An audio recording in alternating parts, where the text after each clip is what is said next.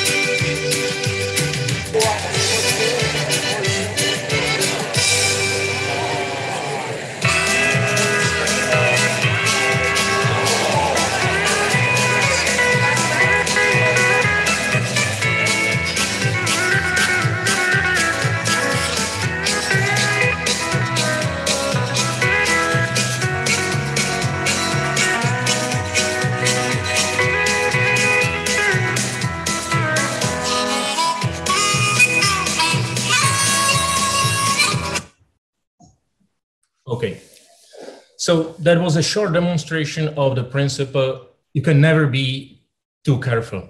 There's no such thing as too much protection. The more safe you want to play it, the better. And still things go wrong. So, sorry. Let's first have a look at some of the main reasons why you would want to use uh, some standard error, error handling uh, procedures. Now, okay. First of all, standardized error handling, uh, as I say, allows a conceptual solution for critical situations. What it means, um, if you are working on some kind of a procedure and you run into a situation where you see you cannot go on, huh? things have gone wrong, you cannot go on. This provides you with a great means of escape. You just say, okay, I can't go on. I'm calling an error.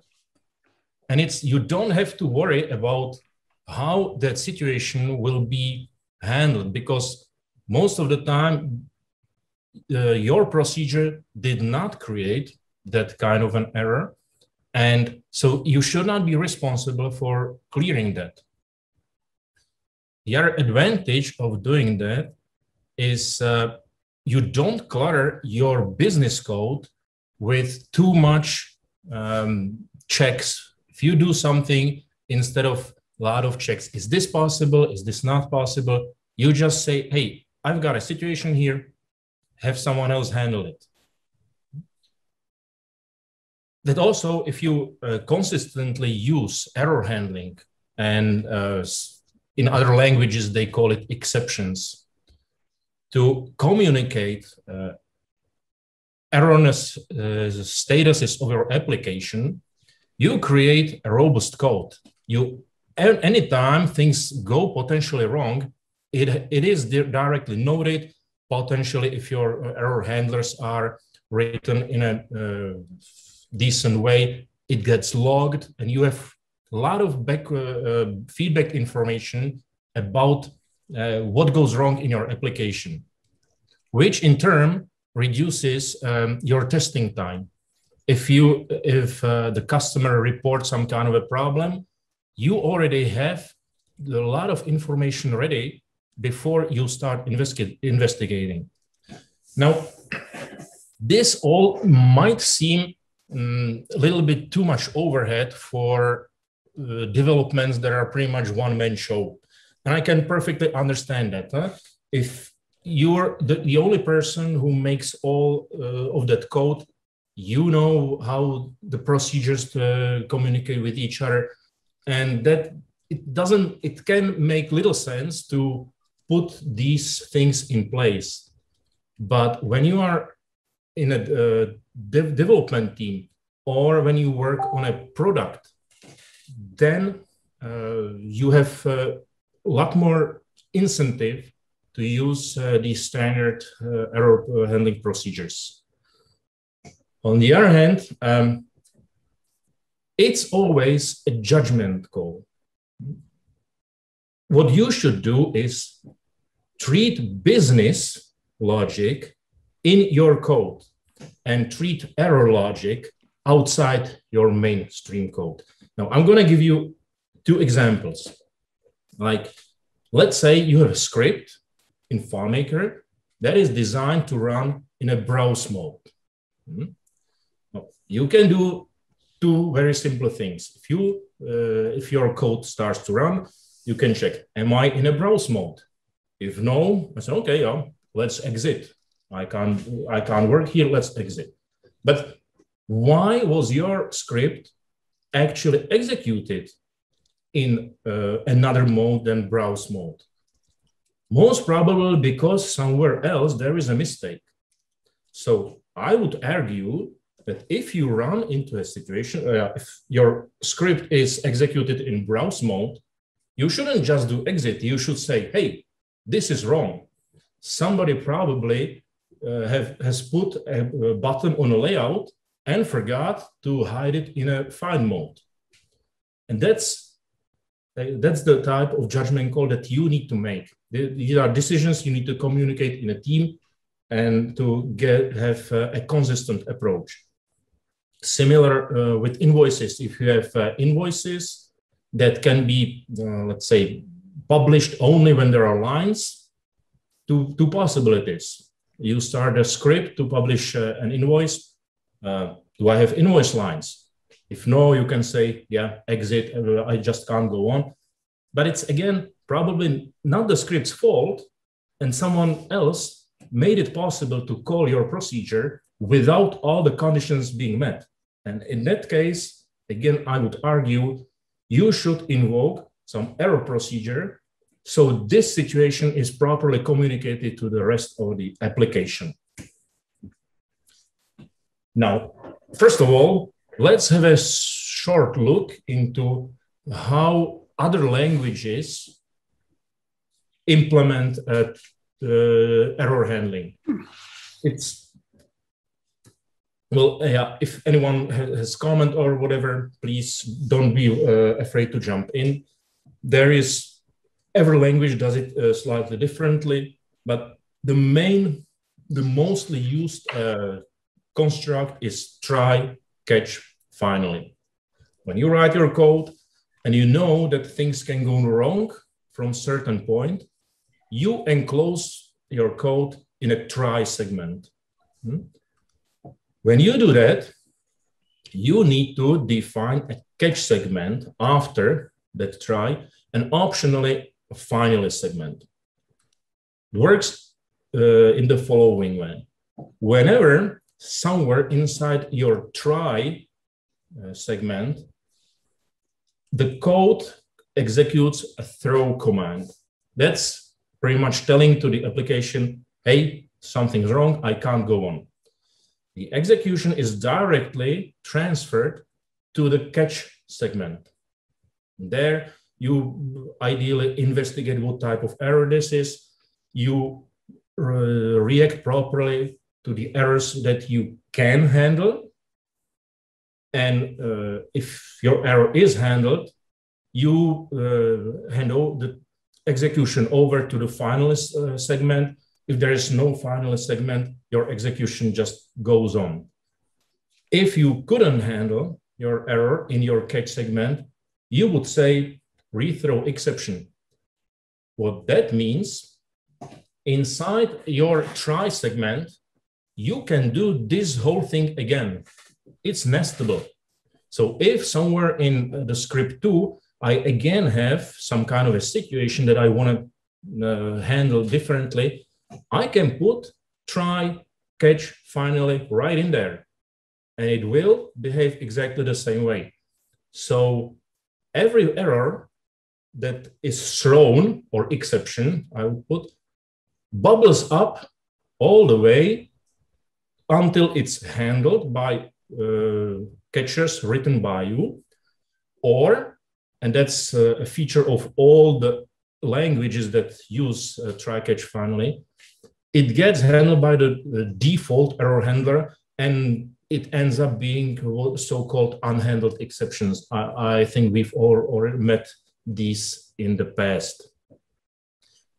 Uh, it, I really believe it would be ideal if FileMaker provided us with this as a, a standard feature. Now, until that happens, we of course need to come up with uh, some ways to, as closely as possible, uh, re, um, provide this kind of functionality. Now, does anyone have from this diagram a clue of, yeah, probably, yeah, what is the largest obstacle uh, for, uh, to implement this type of behavior? Any, any volunteers? Come on, guys. I'm sweating my ass over here uh, doing the presentation. Just give it, give it a shout. Um, basically, any of the, uh, when it calls script two, you don't actually know what script doing is to the state of the system. So you end up with, um, it's not it's not purely functional. There are side effects that you that you um, you don't necessarily know what's happened. I wouldn't say For me, an issue is that you know you can only run Maybe, one script um, at a time. That there is no stack uh, that you can ask. Yeah. There's no observability. You can't tell which script called your actual script. So you have to okay, that's actually not true. And you, I will show you later in this uh, presentation, but you are getting very close. I think you're just not naming it properly. FileMaker doesn't make it possible to transfer execution from the place where you throw an error to some arbitrarily defined catch section. You cannot say, okay, from here, I need to transfer uh, the um, execution to another script higher up in the call stack and a specific uh, location, namely the catch section. All the rest can be pretty much more or less defined in FileMaker. isn't that what you do with a single loop script? Well, that would work for one script, but imagine you have three scripts in your call stack. And in the third script, you say throw error. You need to have all the three scripts that are in the stack equipped with perform script if uh, error exit script. Yeah. So I would disagree I mean, there. Sorry. So okay, how would you do that? Um, we're doing exceptions for quite a while now, and uh, we just return an exception object instead of the expected result. It's uh, kind of a JSON object which is called exception, and, and then all the details are inside. And the calling script just checks uh, after each call, checks for the result if it is an ex exception. That's our catch. And if it's an exception, it just passes it above to the calling script and all the, the call stack uh, to the first um, trigger, uh, it is passed uh, upstairs or uh, up. Yeah, and I, I the, the exception. Yeah. But even if you use that single loop pass, every perform script has to be followed exit loop if by exit loop if, I mean. It's, it's not about the single loop script. It's, it's every script call, uh, every uh, script that's called it, um, checks the return if it is an exception, and if uh, if it is, it just uh, returns uh, to the calling script again. I know. It moves. I, it moves up. Yeah. I agree, but you have to design. You have to traverse the path back to the script where yeah. your text yeah. section is yourself. Yeah. There is no way around that. All the other uh, practices that this diagram shows are possible with FileMaker, except yes. this one. You have to design it yourself. But okay, perfect. Thanks for your feedback, guys. Really happy.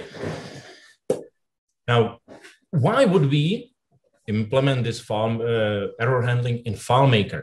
Now, this is actually something I have seen not just once in different projects, and I call, call it the halt optimism.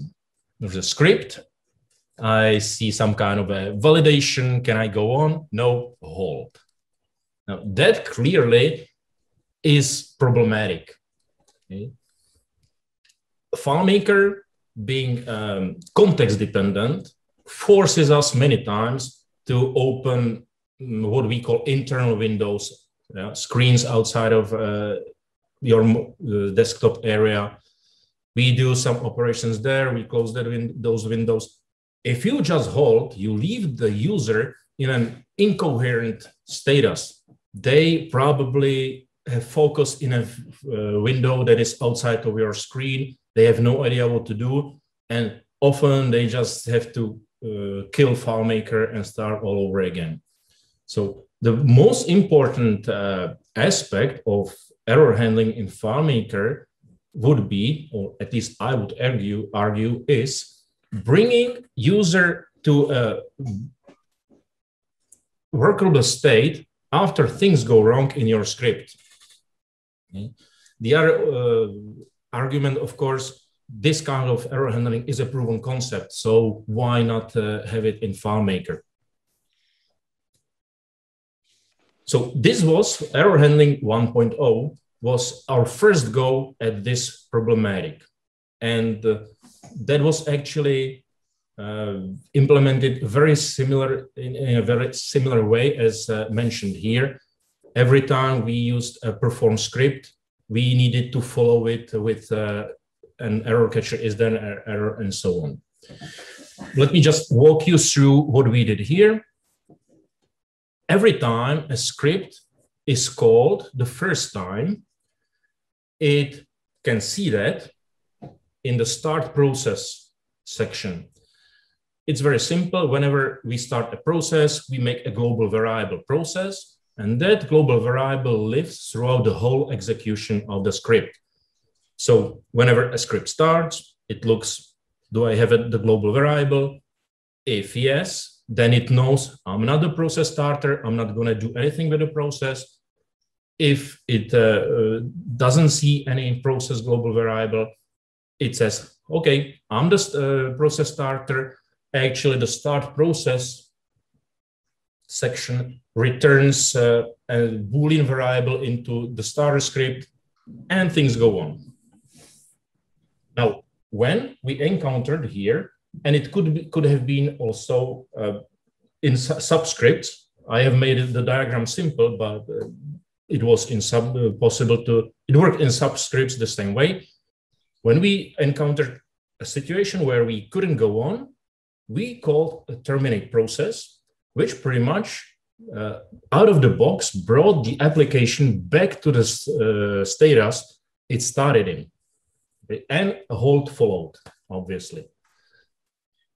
If we wanted to have a custom error handling, so a script written specifically for that situation, we designed a uh, custom error handler and we needed to call it right at the place where the problematic situ situation occurred. Uh, the error handler, the uh, custom error handler could say, okay, well, situation has been uh, rectified, we can go on, or we needed to hold. And then a close process uh, had to follow, which pretty much, in case it was a subscript, did nothing. If it was the first script, it deleted the global variable. Obviously, uh, one of the disadvantages um, before every exit script, we needed to uh, make sure that the process is closed in case uh, we are in the starter. So anytime the developer wanted to uh, do exit script, they needed to add an extra script call before that. And the custom error handler needed to be invoked at the place where the problem occurred. We had no way to saying, okay, from now on, anything that goes wrong needs to be handled by a specific another custom handler, and that would be, get executed when an error happened, even in subscripts. We didn't have that way, or we didn't think of one. It's also a possible way to put it. When my uh, FileMaker introduced perform script by name, things have changed. Okay? We have realized that we can get rid of this necessity to, to clean up after a process. So what we did, um, yeah, as, as most of you probably, we have a template script. We always copy that to start a new script. So starting a process is automatically included in the template. The problem was exiting the script that needed always to be uh, prepended with our uh, cleanup uh, procedure. What we do now when we start a script and the script realizes it is a process starter, it calls the start process section. That section does all that is necessary. It reads the current uh, application status. It creates that uh, global variable. And yeah, what I have forgotten to mention in this start process script, the process starter has received ha, uh, receives the name or ID actually of the script that's uh, that is its caller. So after doing all of what I have said, the process starter calls the initial script again, this by name. So now in the call stack, we have three scripts and the real execution of the business logic starts up. The second time, the script one gets a pass, it sees the process is running, and it just uh, goes on.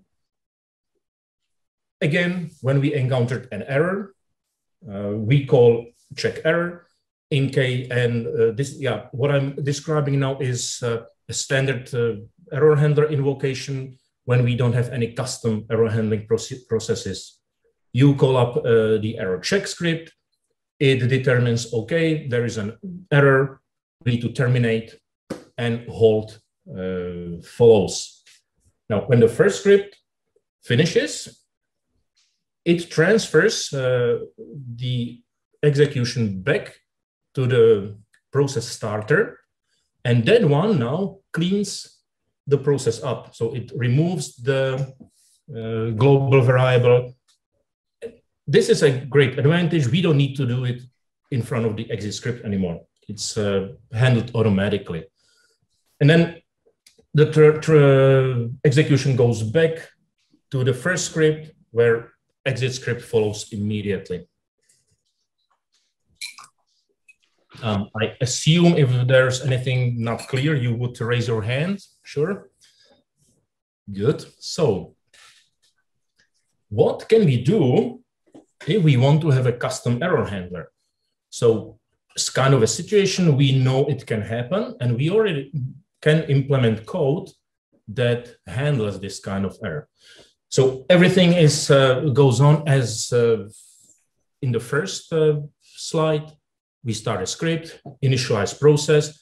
I made a shortcut here. We go on, and now we decide whatever happens in the following section, we're going to handle with a different script, not our standard error handler that is uh, that automatically deals with all our errors. So we tell the process that we want to register a custom error handler. It's in what it is, in fact is. We give the process global variable a new uh, attribute. Yeah, it's a JSON, of course, uh, stru structure. We give it a new attribute and we say, okay, from now on, this is the active error handler. So when things go wrong, our error checker sees that and it says, all right, let me execute first this custom error handler. That uh, custom error handler does its thing. Uh, if things, if the error is uh, properly handled, it do, uh, does an exit, it clears the error. And one very interesting thing is if you can here very easily implement a retry mechanism, which actually is not so easy to do with standard try uh, catch finally uh, handling. So if you do that, you can try again what went wrong, or uh, that error checker, if it can see that the error has not been cleared after the custom error handler, it invokes again the default error handler, um, process is terminated, and um, script is halted. When we're done, we just uh, do unregister error handler, and that is pretty much removing uh, the information about the current error handler from the process global variable. Now, this is not just a simple uh, property, it's actually an array.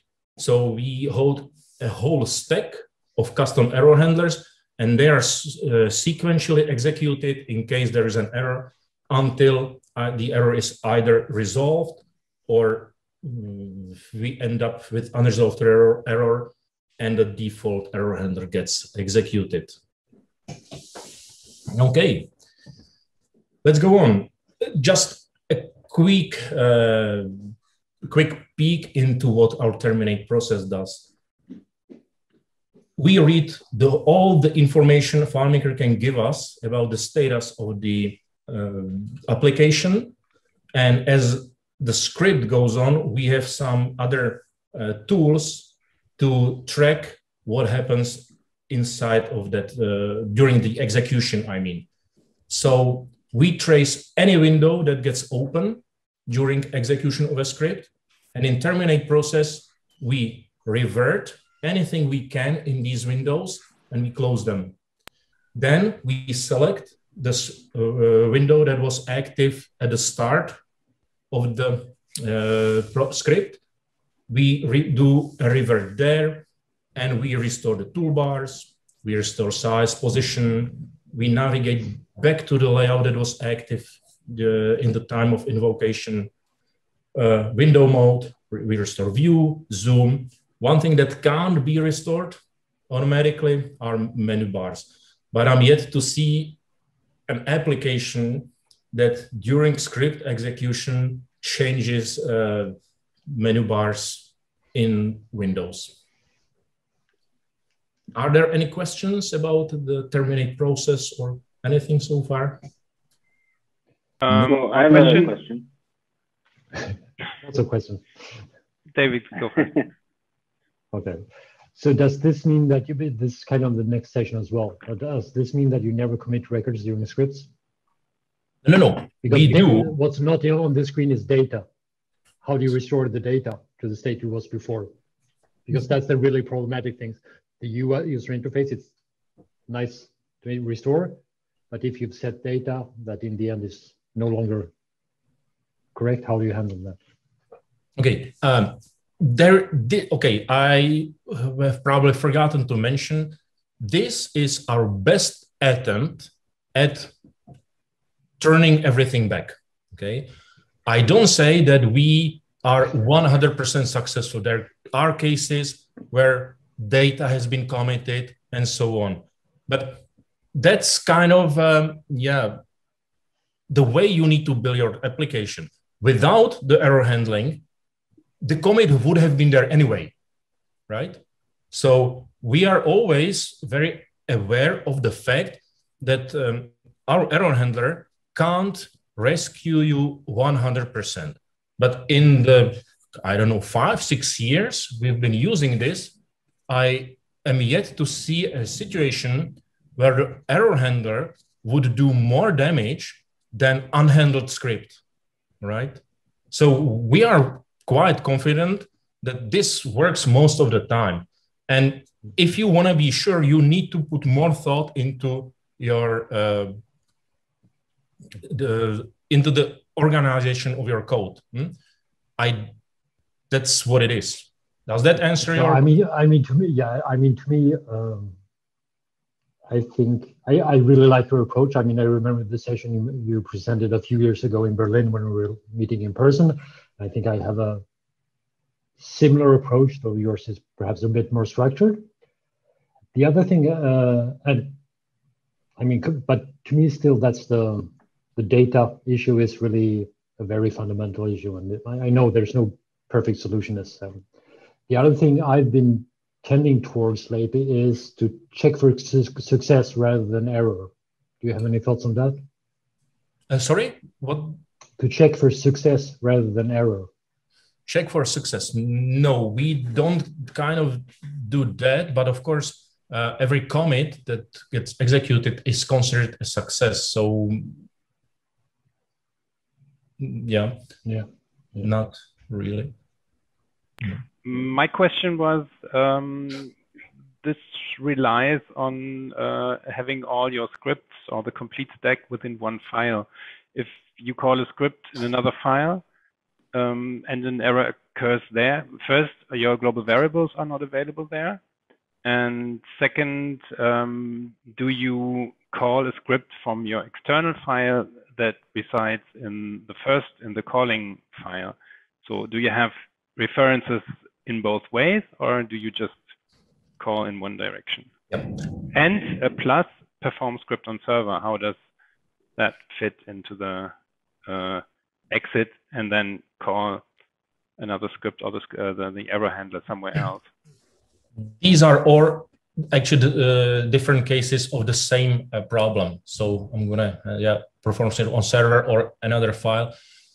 That's not simple. I absolutely agree. Every other file that gets invoked kind of does its own error handling. Yeah? And we, if we know a process or a script from other file will be called, we need to make sure that that script does not execute halt. There's no way around it. I have actually filed a um, feature request at FileMaker to allow halt, return a value. Because in these days, it starts to make much more sense to have halt, communicate things back. If you use API, uh, FileMaker API to invoke scripts, and you do a halt, your API says uh, success and doesn't tell you anything. So if you, I strongly believe we need halt to return value as well. And that's but exactly that's the idea. Uh, sorry, the idea of a halt that you just halt and not return. Yeah, right. But clearly, if you do a halt in a, another file, you're out of luck. Hmm. You should, okay, you should halt anything that happens in that file, but that doesn't mean that your execution in the other file, if you can't, due to the fact that uh, global variables are local to the files, you can't get around it. But that, that's what we do. We make sure no halt is executed, and in the last execute uh, uh, exit script, we pass the whole error object to the calling pro, uh, file. That there, so uh, until now there has been no other way around that. Okay. Uh, so I have one question as well.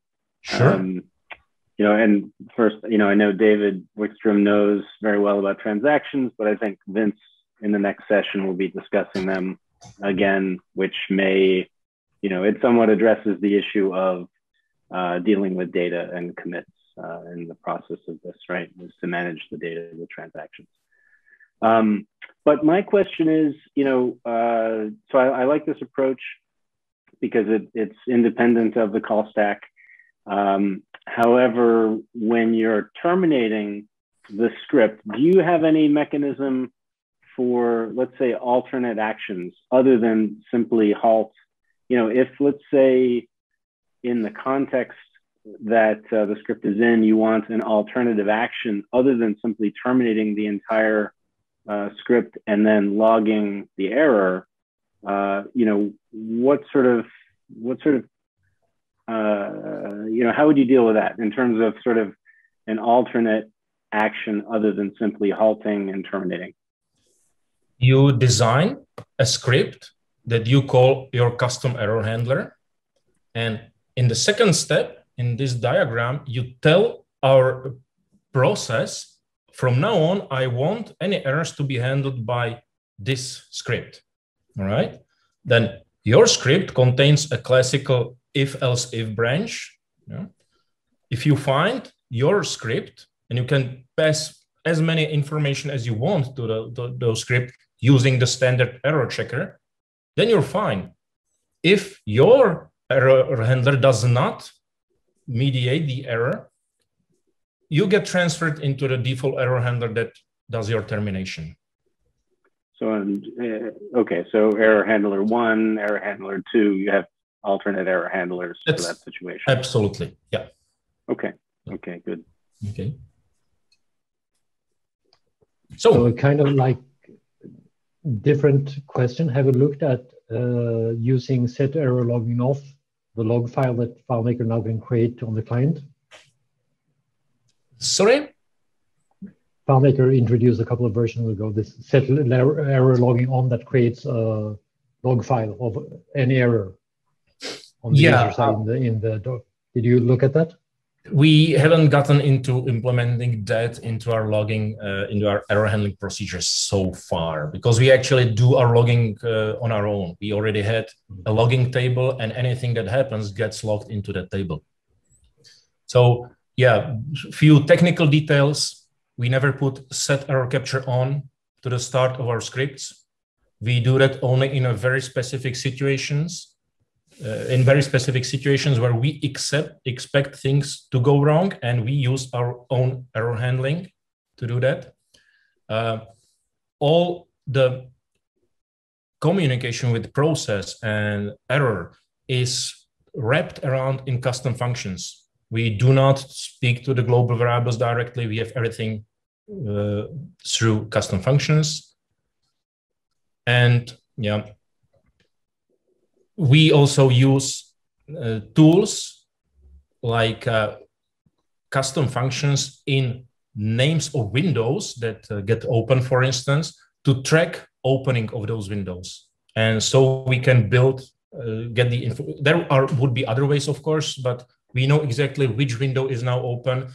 What um, I haven't put into this, this presentation, we have used with, kind of decent success our um, error uh, handling mechanism to and the process mechanism, namely, to uh, deal with some nasty behavior on Windows. If you start a script on Windows, you open an internal window and user has got two windows open at a time.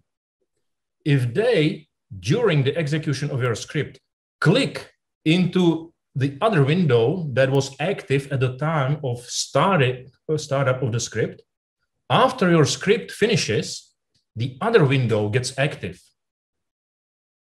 So your script does uh, is suddenly in a window it was not in when it started, and the script has no way of uh, knowing that.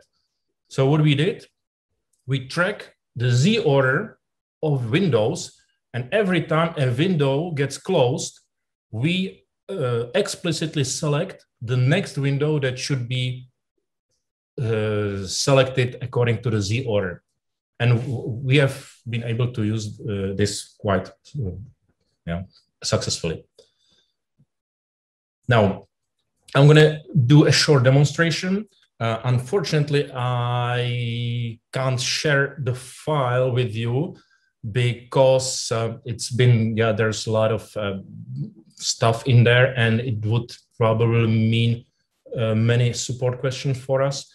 There is a good chance we will provide, we will make an add-on that will just deal with the error handling and process handling out of uh, yeah, what I'm going to show you now, because this is a complete uh, FileMaker uh, library that we use as a startup file for every project. So yeah, bear with me. I'm going to open up my file. 15 minutes left, Jan. Yep, thank you. Wait, I want to be here. No.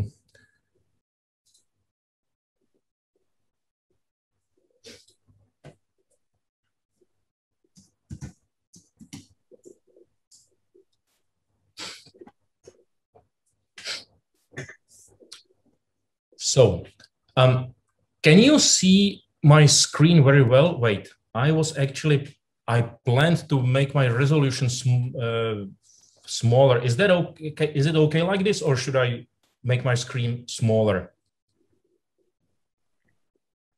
Okay, here. Yep, let's, I, I can always switch later if things go wrong.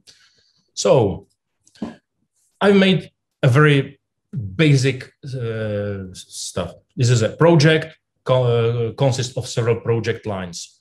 When you want to finish a project, there is a, a script that takes item after item and uh, calls a script to finish that item.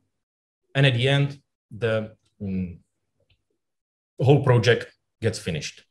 Now, my users can open different items and uh, know, another one so I've got two items here now. And uh, I start editing this one. And then I click on finish. Our standard error handler has acted. My script will design in such a way to make sure nothing uh, that we succeeded in changing the first item from the, uh, or actually any item from the context of the first window, and it has failed. Now, we have built this standard error handling dialog with uh, a very neat feature. Uh, if you are, uh, if you have full access account, you get to see the debug button. You can click it. You open your script debugger, and you see perfectly what's going on here. Now, this is a good example of what I was talking about for the process. That's the starting script. And you see that right now it's active on the process start item. The process start is actually calling by name the startup script again. And in the next instance, we are already um, inside the loop that uh, deals with um, finishing the individual project items. And inside of that script, we ran to a situation that uh, couldn't be resolved. Now, what you can see here, we use a lot of um, custom functions that actually do not return results. They use the let statement to create error objects. So in this line, our error uh, check script was called because we expected that the line above could possibly bring problems. And we have used the calculation engine of uh, the, the, calculation section of the perform script to actually create that error with the Uh, error new function. I will show you what the process looks like. Well, actually, no, I'm not going to show you like this. I'm going to show you like that. Voila. So this is information about the process. All we could gather up. And when I, if, if I just clicked on OK in my, uh, in the first dialog, it would just turn, uh, read all this information, turn it back, and we would be pretty much good to go in the same, the application is in the same status that it was when the script started. Another view, the error is already cleaned. Yes, that's true. Because here our default error handler executes the clear here. But so from now on, what you can do is uh, pretty much, yeah, we are here, resume. So as a developer, I can now go on, go on here, yeah, exit from here because that's uh, the error check, perfect and I'm back here, I can go here and see, hey, why is this uh, uh, not working? Okay, well, and I can perfectly test whatever whatever goes wrong here. All right, let's uh, close this. Yep. I don't think I can move here. I can move the window just to show you what happens. Well, window is back where it was. Now, okay, I have written a custom error handler for this situation. So let me show you uh, what this custom error handler does for me. I'm just gonna use, it's a copy of the first screen with a custom error handler because I know these things can happen. So again, I'm gonna modify it and I'm gonna try to finish this uh, the uh, project. We have uh, been able to determine that uh, the project item, item 11 in window named project item is not committed. And we can ask the user, hey, what do you want? Now, my custom error handler, handler is written in such a way that I can commit, uh, reject the changes. Yeah, okay, revert. I sorry for the warning. Or I can, the users can say, hey, uh, what's going on? I got no idea. And if I do that, our standard uh, error handler kicks in. So let's just, um, yeah, let's um, confirm, voila, and everything went, went fine. Now, I'm gonna show you this.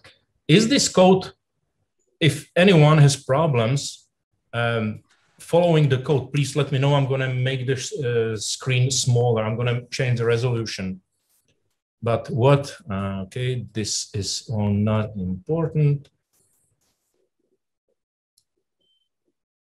All right, so what, what I did here, this is the script to finish a project. Yeah, as you can see, we do a lot of stuff like open record. In fact, I have put here open record uh, script step, but we don't do that. We are using um, scripts for a lot of stuff that uh, can go wrong. So we have, for instance, a script record open that, and I've heard that uh, from other people here as well. That's a loop that just go does record uh, open record record. If that goes wrong, it tries several times with a small pause in between the attempts, and only if that fails at the end, then here an error gets generated. And this again gets caught by either custom error handler or the standard error handler. So what's going on here? This is standard business logic. I'm simply going to loop through all my project items, but I'm, uh, wait, that's the wrong one. Sorry, my bad. Let me close this and close this. It was closed before. I don't know why it got open now. Right. So we're looping through the uh, items.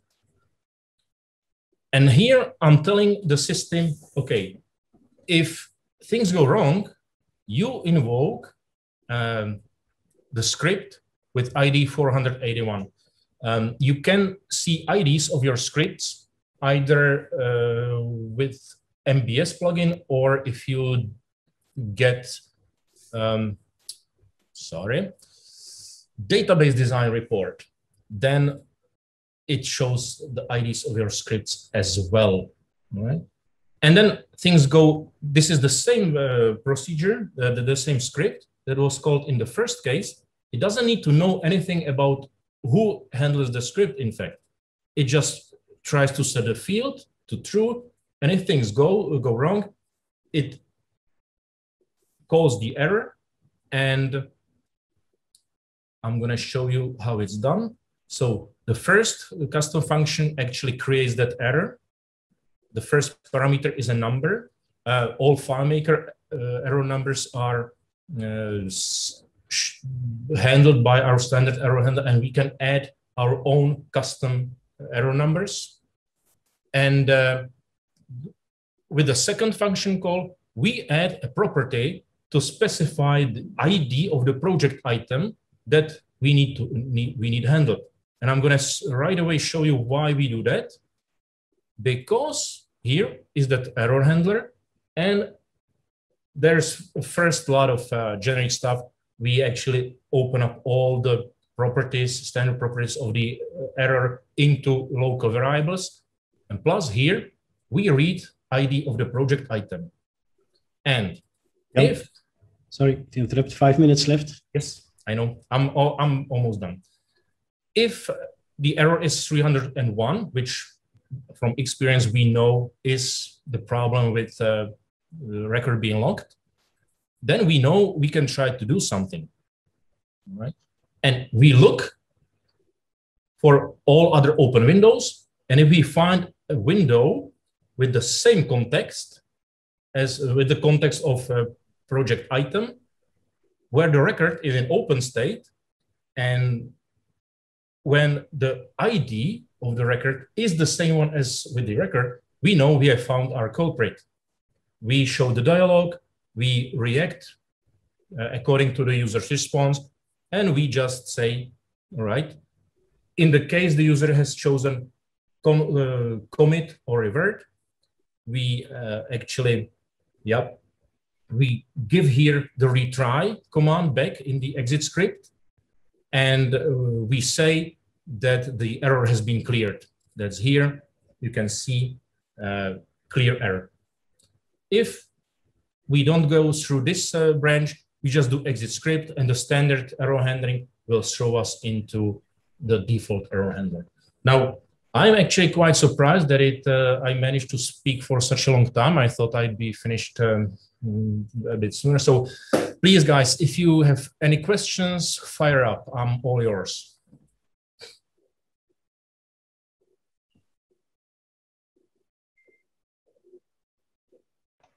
Um, so a question. Uh, so you do this just to be able to do the uh, try catch and then to do retry so uh, the, in this way, you don't have to go back in uh, to the the chain all the way up, but uh, you can take care of the error, and then, if possible, you can keep on with the code if you got a, a, a positive. Yes, as as you have seen here in my hub, these are all open again. I hate that. I have closed them just now. This is the script that performs finish on an individual project item, right? So it is explicitly put into a loop where here is an attempt to set the item to finished. Then the error check is called. And here we have an attempt to see whether the error handler has told us to retry. And if not, we just jump out of the loop. And but as I was said in the um, in the presentation, this is an explicit contract between your business code and your custom error handler. There is no mechanism built in into our standard error handling to facilitate this. You have to completely design your custom error handler to do this and your script to be able to react to this response. Yeah. Okay. So how many times do you execute this script in an average solution? How many times? Sorry, I. Yeah, how many? How often do you execute the the uh, error check script in a normal script? Like after every set field, after every commit. Yeah, after... yeah. Um, what I can show you, we have actually uh, not in templates. Here are some templates that they, for instance, yeah, I'm gonna show you our standard script. Huh? This is how all our, of our scripts start. Hmm. First, uh, we have uh, yeah some co comments and so on. Here is a piece that deals with parameters. We always comment them out. So we can get our parameters, and here are some validations. So we have actually a validation system to check whether a parameter is empty or where if, if we want it to be a member of certain value list, then the second validation does that for us. And this custom function creates an error object. Again, it's a global uh, variable in case one of the conditions are not met. And then right after we just call uh, error check. That's, that's it. Other things that we always check is context if necessary. So again, error check. And in the calculation part, we call a function that creates an error if the context is not uh, compliant with a field that we uh, put here as a parameter. Similar for uh, layout check, we actually we have custom functions that allow us to work with script IDs and layout IDs, so we can identify those to our environment using all of that. Again, error if the layout is not what it should be. We have for window mode check the same, and we have for interactivity check, which is sometimes quite important. Uh, an interactive uh, script in our concept is one that will require user input and we often mm, write code indeed specific based on that. Oh well, and then it's just uh, go on.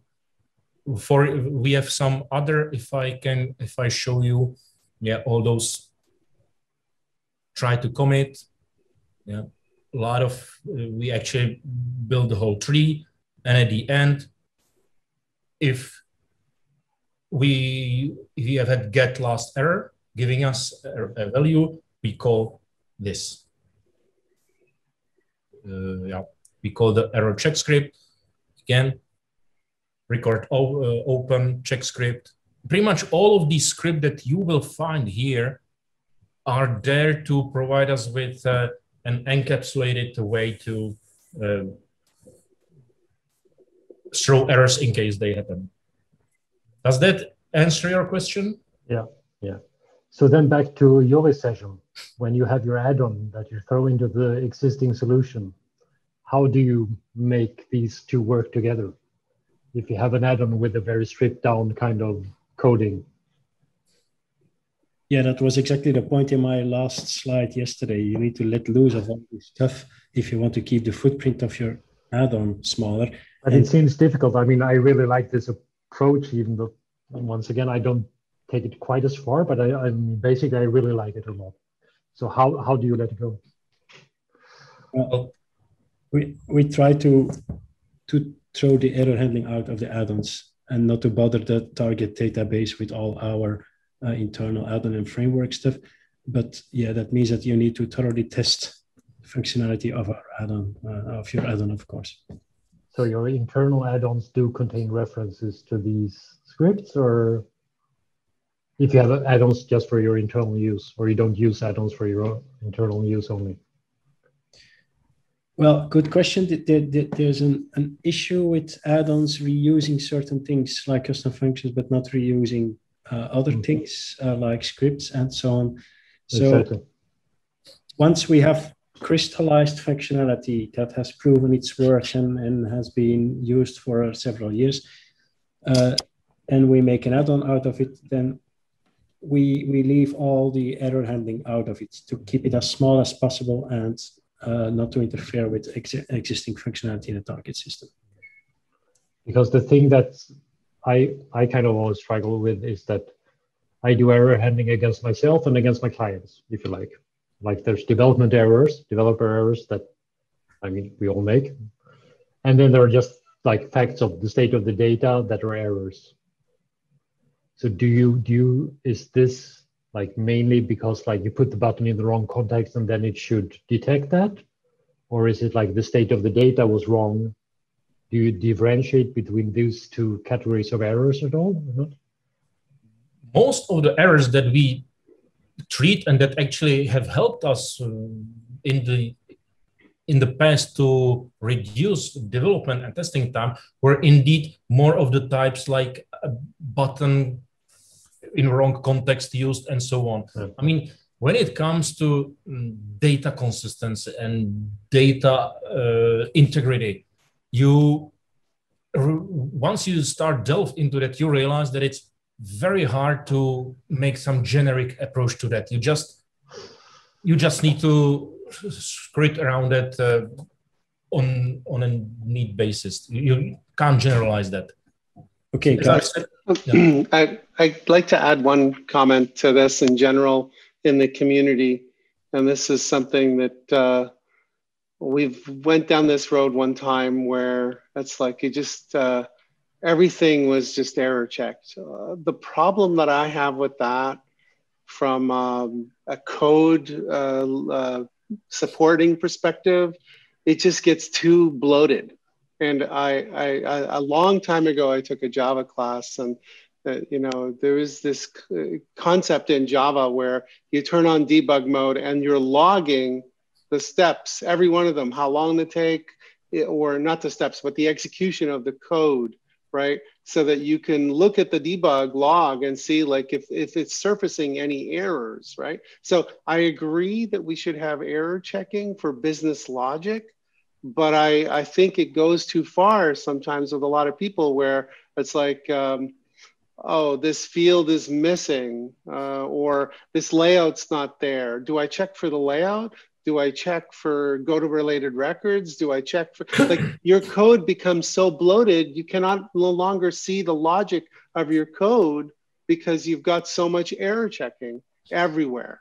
It's not elegant. And I wish FileMaker, like I, I, I mean Claris, uh, you know, like it's it's been a long-standing request where the event log or the error log or whatever the thing is that logs the errors that scripts get it's only for certain air engines. It's not for all of them. So like if you've got a client and it runs scripts, none of those errors are captured in in one place. So I I would love for them to really get like you know some understanding that your your FileMaker Go or your FileMaker Pro or you know the, the data API or whatever, all the errors in scripting engines anywhere they log the errors in one place. Sorry, that's my rant. I apologize. Well, yeah, but I have to tell you that we actually managed to keep it quite low on the overhead. And the reason is that we do not um, use that, uh, what was it, set error capture on.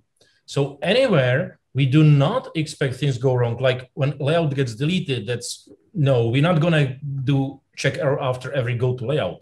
FileMaker will do that for us. And I mean, as I've said, our procedures are an attempt to go as cleanly back as possible. But I mean, we're still better off than doing nothing.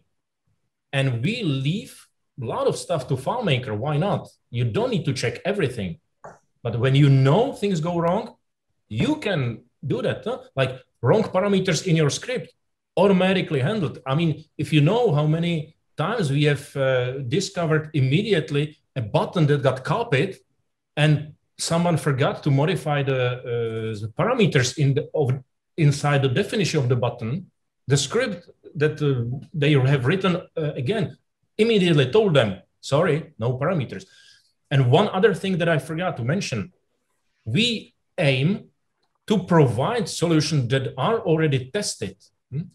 Our customers almost never get to see those error handlers. These are, these are mostly for us to make sure that our application runs as smooth as possible. And if they go wrong anyway, as you can see, I've got here a perfect uh, two records of errors that have happened during my demonst demonstration. And I can find pretty much everything there. This is the whole error object. So, so I mean, it has got advantages. I definitely argue, I'm going to argue that you, you can't error check everything. You would go crazy indeed.